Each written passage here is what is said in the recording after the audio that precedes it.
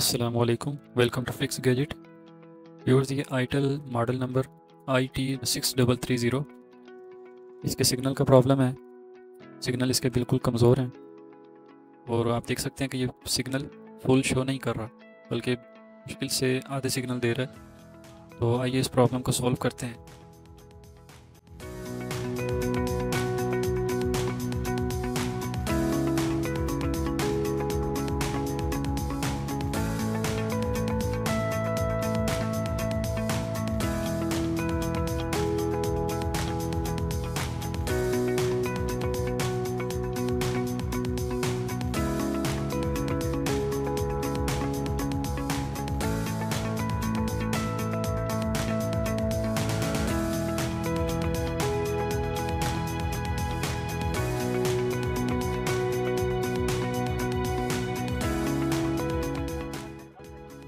Viewers ये इसके signal antenna point है।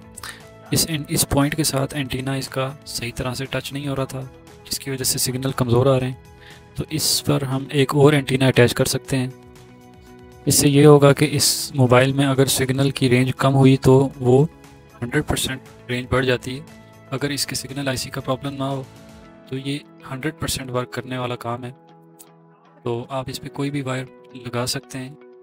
वायर का पहला सिरा एक पॉइंट पर लगाएँगे और दूसरा सिरा दूसरे पॉइंट पर।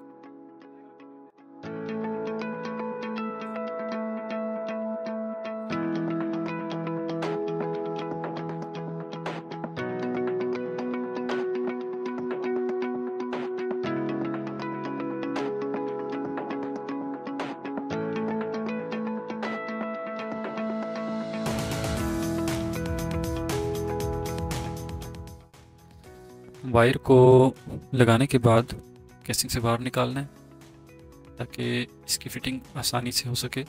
अगर हम वायर को अंदर फिट करते हैं तो बाज़ात कैपेसिटर वगैरह के साथ वायर टच होकर मोबाइल को ख़राब भी कर सकती है।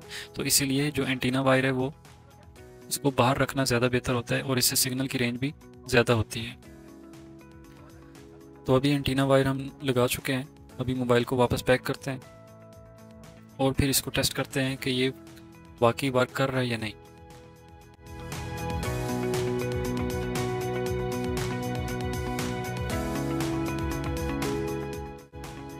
ये तो आपने देखा कि एंटीना लगाने के बाद सिग्नल रेंज काफ़ी हद तक बढ़ चुकी है और सिग्नल बिल्कुल फुल शो कर रहा है मोबाइल अभी इस वायर को इसके इनर के एंटीना के पीछे ही कहीं अब ये के साथ फिट करते हैं ताकि ये वायर टूट ना जाए।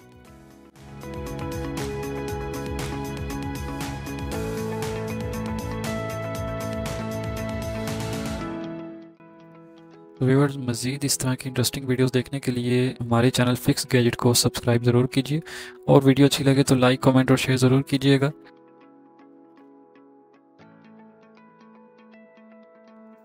और इस वीडियो के मुतालिक कुछ पूछना चाहते हैं तो कमेंट में ज़रूर पूछ सकते हैं।